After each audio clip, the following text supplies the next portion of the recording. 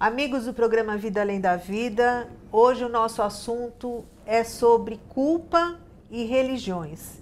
E quem vai responder as nossas questões será a Gisela Levati e a dona Nena Galves. Dona Nena, qual o papel da culpa na prática das religiões?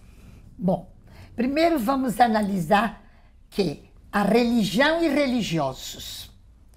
Então, é preciso não culpar só as religiões exatamente porque elas nos culparam. Nós sabemos que há religiões que culpam os erros até chamados pecados, mas são religiões feitas pelos homens. Uhum. E a culpa é um sentimento muito diferente da, da, daquilo estruturado. É um sentimento interior, é uma consciência que vem através da própria religiosidade com Deus.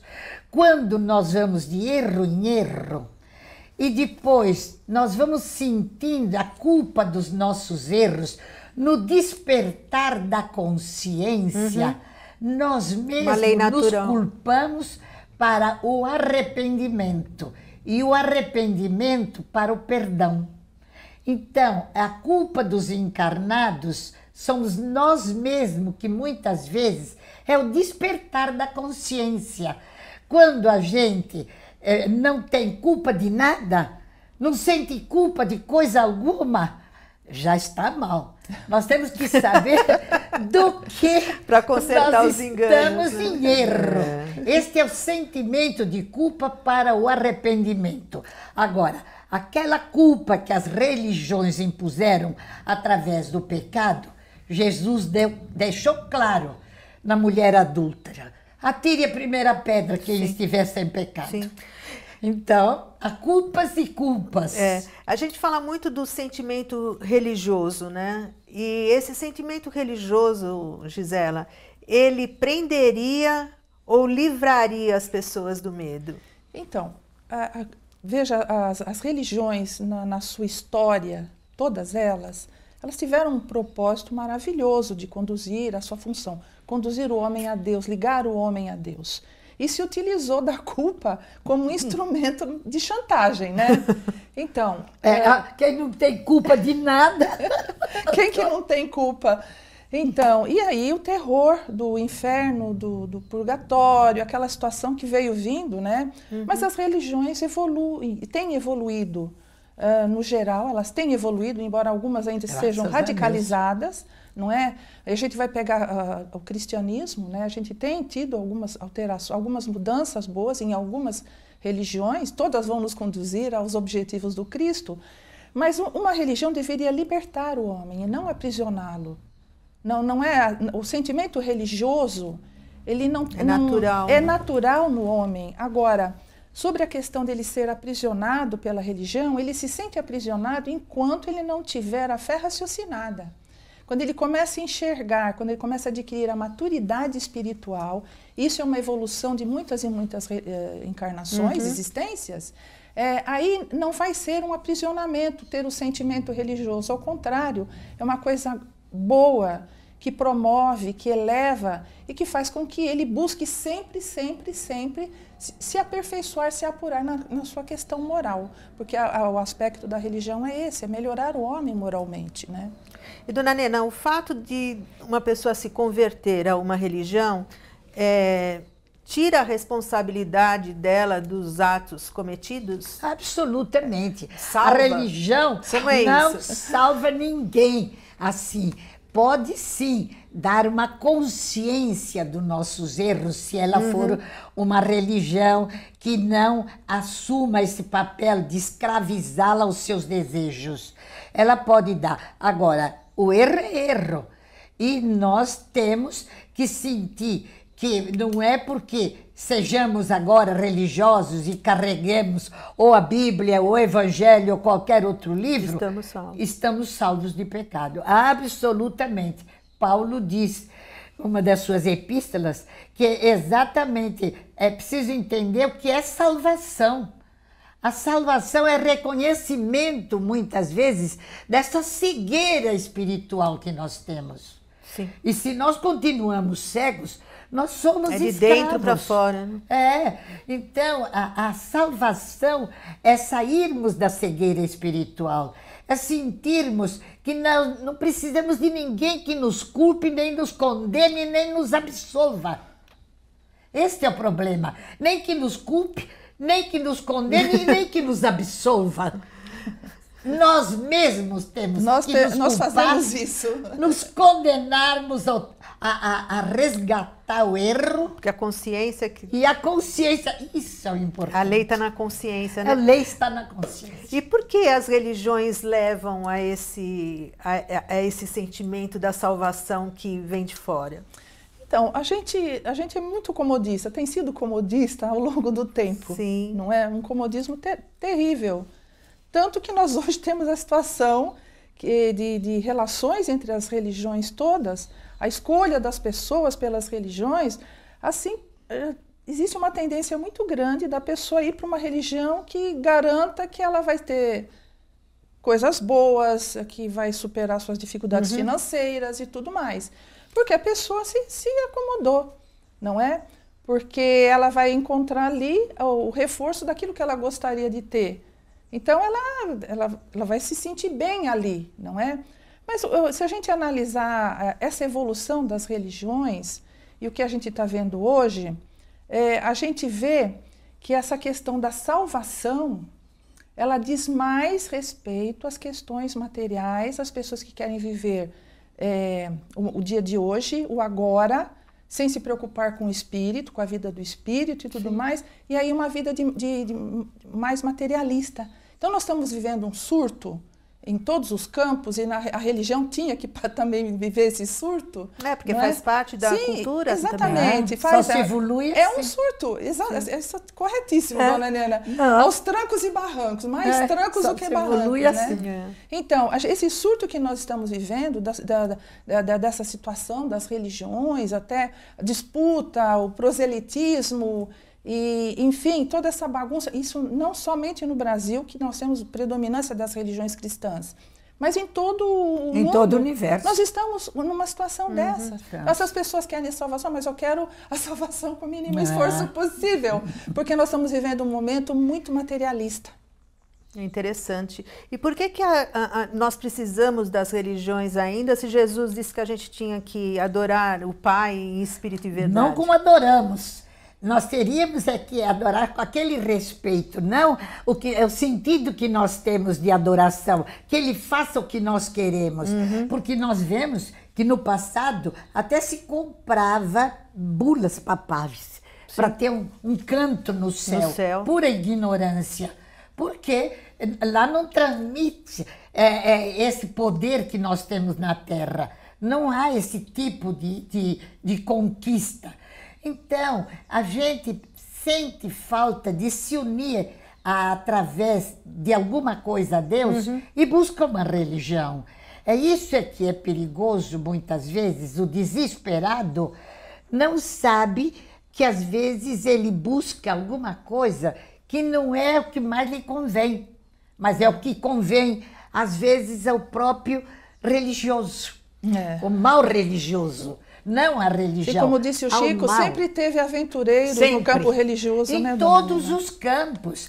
Quando você é interessante como as criaturas a fazer uma sociedade, um contrato, ou mesmo na política, como você analisa com mais cuidado.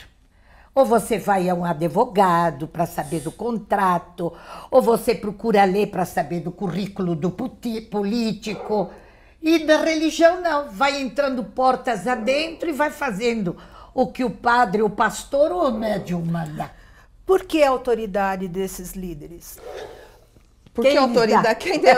Quem lhes dá? Agora, bom, você sempre teve ah, aventureiros Que, no campo religioso. que, au- Aventureiros. que autoridade é essa que eles exercem? Né? Exato. O- olha, eles É. são, são os líderes Você me religiosos. permite dizer que é autoridade sobre o ignorante. É, sim, essa, essa é a conclusão. Mas, é, A conclusão que autoridade ninguém lhes dá. sim, sim. É, é sobre o ignorante. Mas por que, que acontece isso, dona Nena? Porque os líderes religiosos, ele tem uma coisa que os não líderes não têm, que é o magnetismo. Eles têm um magnetismo pessoal muito grande e conseguem fascinar aqueles que são ignorantes ou agem de má fé ou eles são ingênuos. Ou seja, são pessoas de muito pouca cultura, pessoas que não têm um, um, assim, uma inteligência desenvolvida. São é pessoas difícil. que realmente vão ou por interesse mesmo material, entende? Então, esses líderes, eles se aproveitam, eles manipulam, se aproveitam dessas pessoas que fazem isso. É. Isso, isso, isso acontece em todos os campos. Em todas as lideranças. Em todos os campos, é todas as líder. lideranças. É. E como, dona Nena, o Espiritismo lida com esse aspecto religioso? Exatamente. O Espiritismo ensina que a lógica da doutrina é aquela que diz realmente o esclarecimento do Evangelho. Não você se apegar por fanatismo ao médium, ao dirigente, e até por conveniência de que ele lhe traga uma mensagem do mundo espiritual. Aí há também o interesse de quem pede. Então, muitas vezes, como disse a, a, a Gisela, o líder manipula, mas ele manipula porque há um interesse daquele que vai buscando. Dona Nena, isso é um processo obsessivo é, de simbiose. É, eu ia simbiose. perguntar isso. É simbiose. Eu ia perguntar isso, onde entra a parte espiritual. É, né? A parte simbiose entra a, aquele perde um filho, ou quer um emprego, ou precisa um carro, ou está endividado, ele vai e procura quem lhe oferece alguma coisa. E às vezes ele dá em troca a, o que ele tem e se endivida, porque existe achando esse intercâmbio, eu dando vou receber mais. Então é exatamente às vezes também o interesse, ou, ou então o interesse espiritual eu vou procurar o médium e o médium vai me trazer a mensagem da minha mãe. Então eu vou procurar e me escravizo a este médium. Porque ele me traz a mensagem de meus familiares, ou me fala aquilo que eu preciso fazer, me dá uma boa conduta. O, a religiosidade no espiritismo é interior, né, dona É interior, não trabalha com as coisas da, dos interesses humanos. Na verdade, não comercializa nada. Né? Não comercializa nem deve comercializar. Se ele está comercializando algo, ele já está realmente numa conduta não daquilo que o Espiritismo ensina. O programa Vida Além da Vida tem o apoio cultural da Livraria Espírita União. Adquira estas e outras importantes obras na Livraria Espírita União sempre as melhores publicações espíritas do país. Livros de todas as editoras espíritas, descontos especiais para centros espíritas, associações, livrarias e clubes de livros. Livraria Espírita União, Avenida Rangel Pestana, 233, ao lado da estação Sé do metrô. Gisela, é, tem um livro do Herculano Pires que chama Agonia das Religiões. Belíssimo. É, belíssimo. é muito bonito e ele diz, ele, ele analisa o aspecto do misticismo. E ele diz que todas as religiões passaram por esse misticismo por um problema cultural. Minha pergunta é a seguinte: um dia nós vamos nos livrar dele? Então, porque até hoje nós temos ainda. e porque, oh, Eliana, o misticismo está tão entranhado na nossa sim. cultura que a gente nem percebe que sim, tem. Sim. Não é? Inclusive nas religiões. E é isso que a gente tem que tomar um cuidado muito grande com essas ondas que entram dentro do, do, do da doutrina espírita, do movimento espírita é, que, que realmente foge do campo do, do da fé raciocinada. Sim. Uh, o objetivo, o Kardec foi brilhante quando colocou a questão da fé raciocinada. Não é? No futuro, nós todos estaremos exercendo a fé raciocinada. Ainda não estamos conseguindo. Uhum. A, gente, a gente tem os manuais que dizem, olha, desconfia, analisa. sabe, tudo... sabe por quê? Porque a fé é muito abstrata. Exatamente. E nós somos muito materiais. Aí a gente recorre, porque o misticismo está relacionado com, a, com o nosso fé. lado material. Não é? Você quer, você vive ainda, uma, nós vivemos ainda uma, uma vida é muito material. A muito. fé é um sentimento. É, e nós buscamos no misticismo, é inconscientemente, nós buscamos apoio no misticismo. Você vê, às vezes dá muita pena uma pessoa que perdeu um ente querido. Se realmente ela confiasse, eu digo isso entre espíritas, se ela confiasse bastante no mundo espiritual, este ser querido está entregue a espíritos que, melhor do que ela, como encarnada, ou mãe, ou pai, ou irmão, uhum. poderiam dar amparo a este espírito. Mas ela quer que o espírito venha ampará-la. É. Sim. Ela chama isso saudade. Será Ela está obsediando a pessoa, dona Será saudade ou necessidade? É. Eu mesmo já me questionei. Talvez é uma necessidade muito grande desse misticismo. Se eu trouxer o espírito e ele falar comigo, eu fico mais calma. Não importa onde ele esteja. É, talvez seja em função do nosso próprio estado evolutivo é, ainda, né? exatamente. né? Que a gente não consegue fazer essa ligação não, direta sempre, né, não, né, com Deus, né? Não, entregá-lo, porque lá eles têm melhor recursos Sim. do que eu. Não, Sim. é o misticismo. Deus, eh, Pai, traz ele para mim. É. é. Nós ainda nos apegamos a isso. A isto. É, é interior. Nós todos somos assim. E, dona Nena, esse misticismo, fanatismo, é, ele pode é, paralisar o avanço da sociedade? Deixa não, fazer com que ela não progrida? nunca. De Jesus. Mas pode é, atrasar. É, pode, é, atrasado nós estamos há muitos séculos. Mas nós vemos Segura que estamos um muito mais avançados do que já estivemos. Sim. Paralisar nunca.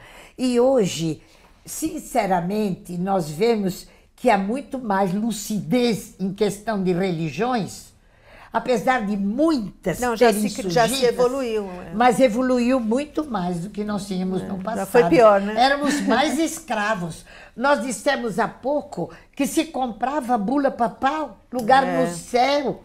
É o que eu podia comer, se eu pagasse eu comia, se já não, não pior, comia. É, é bastante ignorância, não é? É verdade. Hoje não. E Gisela, é, como manter esse sentimento de religiosidade de que nós estamos falando é, diante de um mundo que a gente vive de tanta violência, tanta injustiça?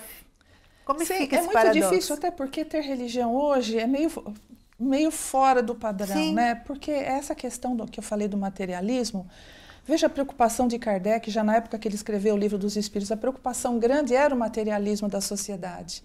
De vez em quando nós temos um surto de materialismo no planeta.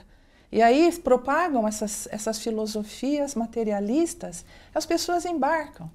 Entende? Então, hoje, se, se nós desenvolvemos o intelecto, nós também desenvolvemos, é, permitimos que se desenvolvam essas, essas filosofias. Não é que, que é um obstáculo, não vai parar o nosso progresso, mas é um obstáculo. Né? Nós vamos passar por cima disso, mas depois de sofrimento. Sim, então, depois causa de muita dor. Né? Exato. Então, nas religiões, quando você vê as religiões hoje pregando, algumas pregando o amor, as outras pregando o sectarismo descarado, isso, isso em nível mundial, né, gente? Porque não, não, não precisamos dar exemplos nossos aqui, sim, não é? Sim. A gente vê que estão, estamos fora. E nós estamos fora porque nós ainda somos muito materializados. Nós, nós temos que superar isso. E, é, nos dedicar ao, ao estudo, ao recolhimento, à fé raciocinada. E não é vergonhoso ter uma religião. Infelizmente, as pessoas buscam religião quando estão passando por problema de saúde, uhum. desemprego, é problema isso, financeiro, é. É, problema de relacionamento, Sim. separação ou perda de um ente querido. Então, elas procuram, porque sabem inconscientemente que ali é que está o amparo. É, Agora, nós dúvida. teríamos que ter isso constantemente. É. E por que, que é vergonhoso? Então, naquela hora não é vergonhoso a pessoa ir buscar uma casa religiosa, Sim. um templo?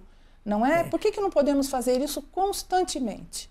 Mas nós ainda não temos essa segurança de fazermos isso. Precisa ser corajoso para ser religioso. E depois hoje. estamos deslumbrados é. também.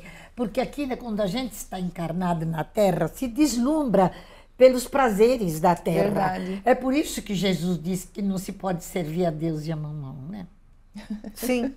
E ser religioso, dona Nené, é uma questão da natureza humana? Ou eu escolho ser religiosa ou eu sou naturalmente Bom, religiosa? Bom, isso é, é, conquista do passado. A fé é uma conquista. É. Agora, ser religioso não, às vezes é, é, é, é você adquire essa necessidade na Terra. Nós vemos que muitas vezes havia no passado quem não queria ser sacerdote, mas a família obrigava. Mediunidade todos temos, mas nem sempre queremos trabalhá-la da maneira correta e certa. Então, ser religioso, você escolhe religiosidade ligada com o alto, é conquista. É, às vezes pode ser até que seja é, é atributo também, atributo do espírito ter essa ligação com Deus, é. né? Ele busca essa. Só para espíritos que já alcançaram a maturidade espiritual. É uma questão Sim. de maturidade espiritual. Enquanto isso, a nossa é. fé é menor que o grãozinho de é, mostarda. nós podemos ter religião, mas como você pergunta, ser religioso, religioso mesmo, ter é. religiosidade, essa certeza e essa fé que nada termina é conquista. Agora, ser religioso, não. Eu vi certa vez uma pessoa dizer: não, eu vou entrar em tal igreja porque eu sou bom de conversa e eu vou fazer um curso e vou pregar. Vou ganhar cinco vezes mais do que eu ganho agora. Então, esse não vinha para ter. Religiosidade. Uma... Não, uhum. ele escolheu para ganhar. Tá. Então, escolher uma religião é uma coisa ser religioso é outra. E hoje, tam e hoje também, né, Gisele, em função das tantas guerras santas, é, há tanta é, luta ainda entre as próprias religiões, porque a religião, na verdade, deveria unir a humanidade, né? Porque, uh, mas Por que, que isso questões, acontece? Então, é aquilo que a gente até é, faz parte do todo da sociedade humana. Os, os conflitos que tem no campo religioso, você tem no campo político e no campo social, não é? Aí vem a questão da que está até no Evangelho segundo o Espiritismo, um dos capítulos o Kardec analisa fora da caridade não há salvação. Ele coloca isso como a premissa, que é, é a bandeira do, do, do Espiritismo, mas ele, ele apresenta a análise da, daquilo que algumas religiões falam, que fora da religião não há salvação, aquilo que a gente vinha falando. Porque acham que a minha religião é melhor do que a outra. É melhor que a outra. Entende? E existem que, também questões de poder, de domínio de povos que vem vindo através da história. Mas nós temos conflitos hoje eclodindo no mundo inteiro e também conflitos hoje. Nós estamos vivendo um momento muito triste de conflitos entre religiões dentro do Brasil, né? de domínio, de autoritarismo, querendo, querendo tirar alguma vantagem. Poder, né? é, exatamente, é poder. Mas tudo isso, Eliana, está ligado ainda às nossas imperfeições como sociedade humana terrena. É, mas nós passamos por isso por, uma necessidade muito grande. Como ela disse, paralisar. Não, nada. Isto, isto que nós estamos atravessando agora é melhor do que quando nós não estava tudo muito numa calmaria. É verdade. E tudo muito tranquilo, é. mas por baixo. Agora explode, parece que é o fim do mundo. Não. Isto vai acontecer, vai à tona e depois melhora. É, Fica o que é bom, né? É a não, maneira, não volta. Não tem, é maneira, olha, não tem mais é, volta. A é. evolução, inclusive das religiões, não tem volta. Não. A gente está vivendo um surto, né? Mas, assim, no momento em que as forças uhum. mais negativas, trevosas, digamos, que é uma palavra um pouco estranha, elas estão, assim, parece que elas estão dominando. Não. Isso daqui vai passar. Tudo isso vai passar. E vai ficar na calmaria e depois virar outra crise novamente. Porque faz claro. parte do próprio processo, processo né? evolutivo, evolutivo né? Sem dúvida. Interessante. E, dona Nena, na, no, na questão da, da, religião também tem uma coisa interessante. É, normalmente a gente procura a religião é, para uh, ah, combater as nossas dificuldades.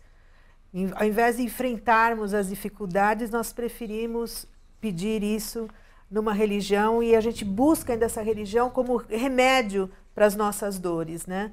É, isso está certo? É, se, por que não buscar, como disse a, a Gisela, você vai a uma casa ou espírita ou uma igreja e você sente paz e ora naquele templo e você adquire forças e mesmo os companheiros falam, você estuda, se esclarece, a religião te dá força para que você possa superar muitas perdas também e até que você possa crescer espiritualmente. Você procurar uma religião não é só pela necessidade, é por amor também. Por que não? Não se diz só pela dor. Não, pela dor você vai também. Mas por amor também se vai. É aquela necessidade de crescer, de progredir, de amar. Porque nem todas as dificuldades a gente consegue superar também, né? Não, Tem dificuldades que não são para serem superadas. serem superadas. Nenhuma. É isso que eu estou pensando. Elas exatamente. só serão superadas quando nós quitarmos aquela fase. Por exemplo, mas por que o mundo espiritual não manda o remédio para o câncer? Mandará, mas não está na hora. Sem dúvida, quando ele vier, é porque chegou a hora. Enquanto isso, o câncer vai naturalmente sendo uma doença incurável, tratável. Entendi. E mais e que nós temos que conviver com esses tratamentos dolorosos. Porque esse tratamento doloroso para a carne é um tratamento, uma bênção para o espírito.